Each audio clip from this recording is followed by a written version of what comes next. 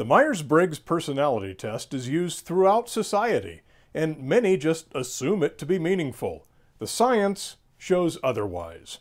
I'm Brian Dunning, and you're watching In Fact. Welcome to the show that brings you the real facts behind popular myths.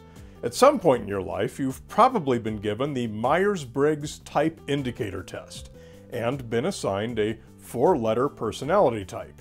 You were probably given the test by an employer, a recruiter, or maybe a coach who helps to help you find some direction in which you would be the most successful in life. The promise is almost like having a crystal ball. Will you be a better manager or a better employee? Should you work in this field or that field?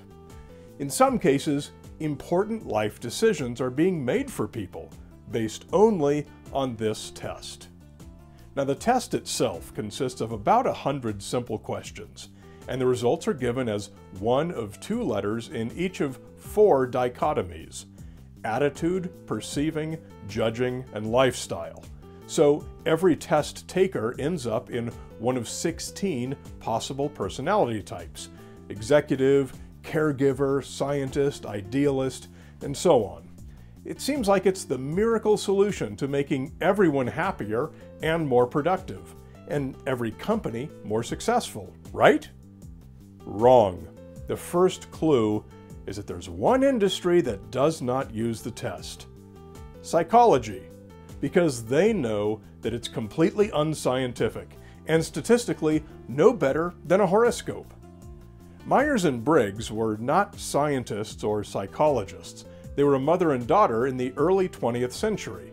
Although neither had any training or education in psychology, they were both fans of Carl Jung's writings on psychometry, and they thought they could do a better job.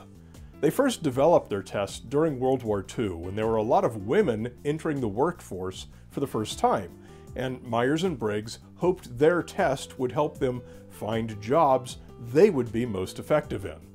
So it was a good idea and well intentioned. But the test doesn't show your skills or aptitudes. It merely reflects your preferences, and those are two very different things. Half the people who take it, again, score differently because our preferences change day by day, depending on our mood, our recent experiences, and other factors. That's reflected in the data, which shows most people land somewhere in the middle of the bell curve for each of the four dichotomies. Take this one, the introvert-extrovert dichotomy.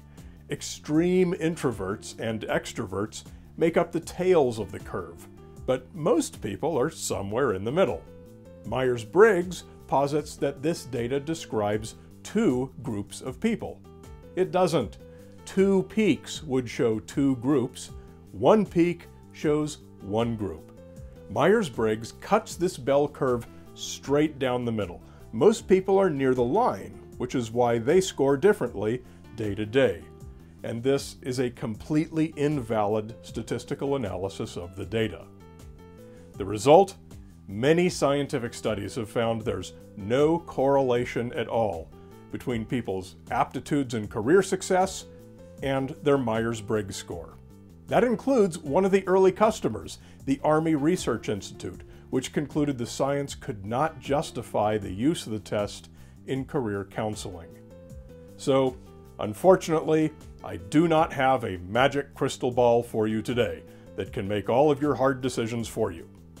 I'm Brian Dunning, and this has been In Fact. In Fact is made possible by financial support from viewers like you please visit infactvideo.com.